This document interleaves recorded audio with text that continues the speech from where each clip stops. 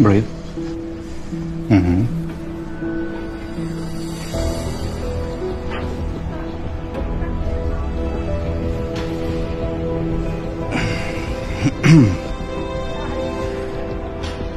So, what's up, Doc? Is my wife okay?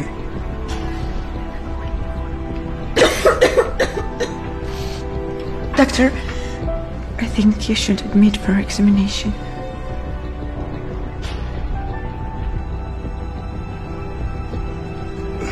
No, no, she's perfectly healthy. You can go home. I thought so. Thank you, Doc. Let's go, dear. Let's go. I used to think that other people's problems were none of my business. Let them deal with it themselves. I could never have imagined what my indifference would lead to. Stand back!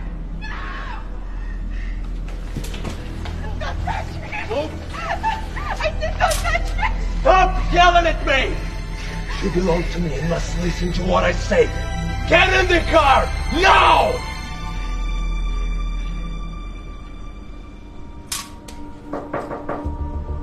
Um, come on in. Oh, hi, officer. What can I help you with today? I'm actually fine. Then why did you come here? I have a few questions for you. All right, uh, take a seat. Tell me, please, do you know this girl? Um, no, no, I don't. Um, why? Lucy hasn't been in touch for weeks. Her parents are worried about her. She has an abusive boyfriend. Oh, really? That's terrible. I found out that Lucy had an appointment with you. Maybe you can remember. Please, take a look again. Oh.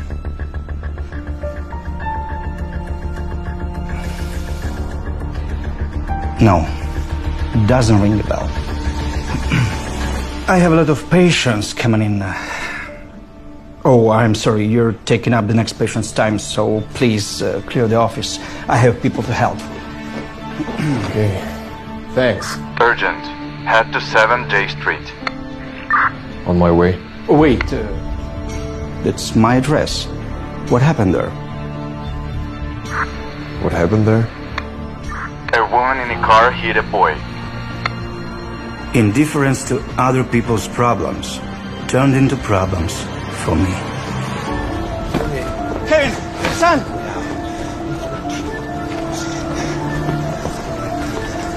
This wouldn't happen if not you. You're You? I was. What are you doing here? Hey, what a meeting, Doc. Can you imagine Lucy on the red light because she was distracted? Right, Lucy? Yes. Yes. It's my fault.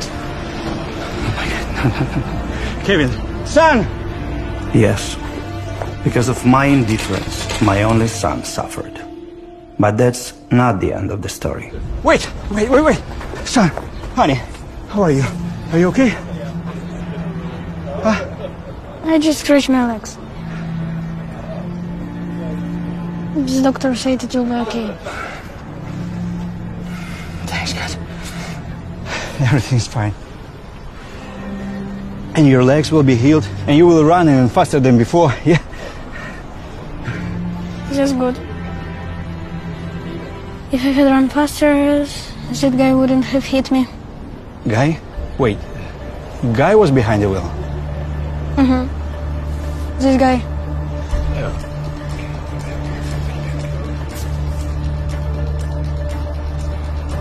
Grandview? Yeah, yeah, all right. Dad will be there soon.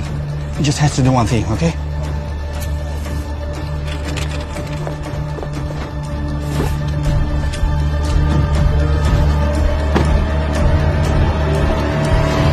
Stop! Stop! This girl is innocent. She wasn't driving.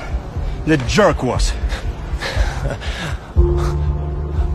What are you talking about? Doc? She confessed it. Because you forced her to. Damn abuser, I know everything. Calm down, calm down, calm down. That's nonsense. Why do you listen to him, huh? Can you prove it? Sir, do you have any proof? Yes, it's all there. On the security camera on my home.